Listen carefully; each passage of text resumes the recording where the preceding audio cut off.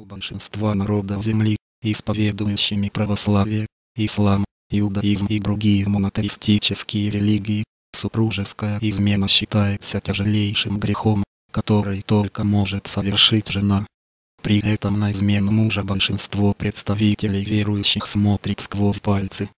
Такое восприятие женской неверности стало всего лишь следствием бытовавших много веков назад законов наследования. Мужчина, желая гарантировать передачу своего имущества по наследству только генетически родным детям, категорически, под страхом развода, наказания, а порой и смерти, как в исламе, запретил женщине даже думать об измене. Но эти законы продиктованы всего лишь экономической необходимостью и являются исторически обусловленными. На Земле есть множество народностей, живущих совсем по другим правилам. У них супружеская измена женщины – единственная возможность поддерживать генетическое разнообразие племени и гарантировать здоровье будущего потомства.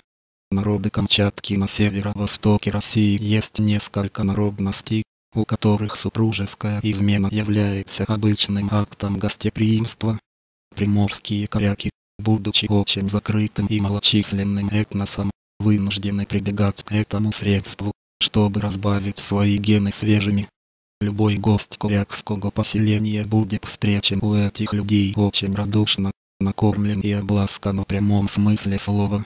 Вечером замужняя хозяйка жилища, в котором он останется на ночлег, станет вовсю кокетничать с пришельцем, чтобы максимально ему понравиться. Ночью она со стопроцентной гарантией ляжет к нему в постель с вполне конкретными намерениями. Гостю не стоит опасаться ревности мужа, поскольку тот обо всем знает и совершенно не против.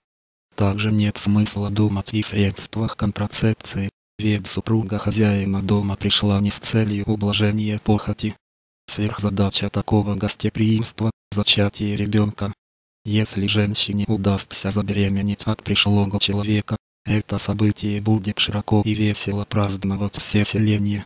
Задача выполнена, гены корячки соединились с генами представителя другого народа, а значит, ребенок родится жизнеспособным, крепким и без генетических отклонений. В Российской империи согласно историку Безгинов, такой феномен существовал и в Российской империи. В отдельных селах страны существовала так называемая гостеприимная проституция.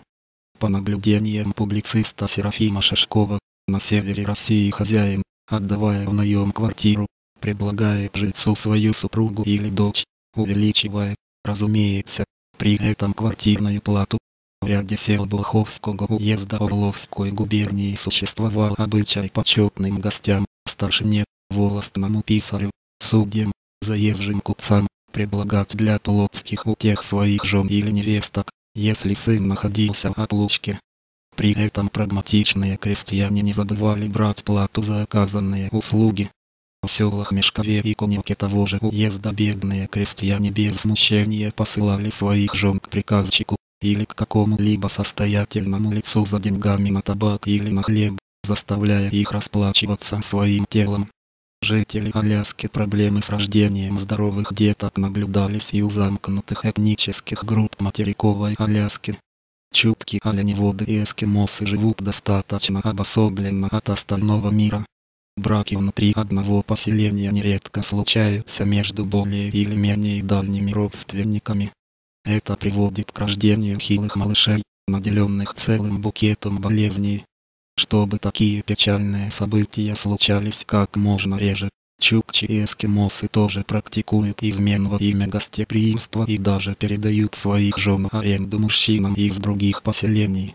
Если сильный представитель чужого клана собирается на охоту, у него всегда есть огромный выбор из дам любого соседнего племени. Мужья сами будут предлагать своих жен роль временной любовницы. За время охоты женщина должна постоянно ублажать господина, чтобы было больше шансов забеременеть. Аборигены Австралии сексуальное гостеприимство принято и у небольшой народности австралийских аборигенов Арунта. Каждый род живет очень замкнуто. Гены веками смешиваются внутри племени, поэтому разбавлять их просто необходимо. Арунта исключительно гостеприимны и готовы одалживать своих женщин всем желающим. Любой гость извне может спокойно рассчитывать на ночь с первой понравившейся чернокожей красоткой, даже если она замужняя Матрона. Своими женами Арунта охотно делятся не только с пришлыми иноземцами, но и друг с другом. Это своеобразный жест уважения и симпатии. Если кому-то вздумается отказаться от такого живого подарка, муж женщины посчитает себя смертельно оскорбленным. В горах Тибета в Тибете тоже много народностей, живущих по схожим законам. Муж с радостью отдаст свою жену во временное пользование пришлому гостю, если женщина тому понравилась. Возникновение симпатии и сексуального влечения в этом случае считается высшей волей богов. Тибетцы вообще склонны ценить востребованных женщин.